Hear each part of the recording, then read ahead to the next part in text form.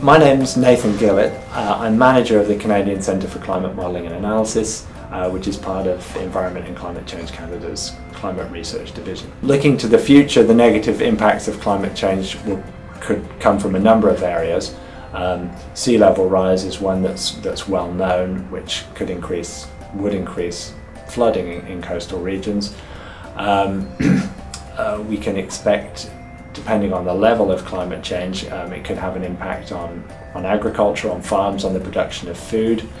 Um, uh, we can, or we expect impacts, for example, on wildfire.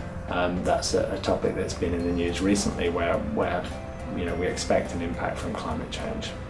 Climate change is important um, because it's already having significant impacts um, globally and also within Canada. Um, you know, um, we've seen an increase in the number of uh, extreme uh, heat waves. Um, we've seen an increase in heavy rainfall events, um, and you know that's on the global scale and within Canada. That's having significant effects on humans, on the environment. Environment and Climate Change Canada um, has a number of roles connected with climate change.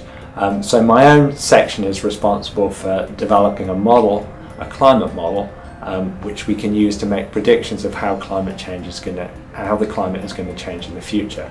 And so we can use that to uh, adapt to climate change, to, to make changes so that the, the damages from climate change are less, are less severe, um, and also so that we can use it to help um, decide policies to reduce climate change.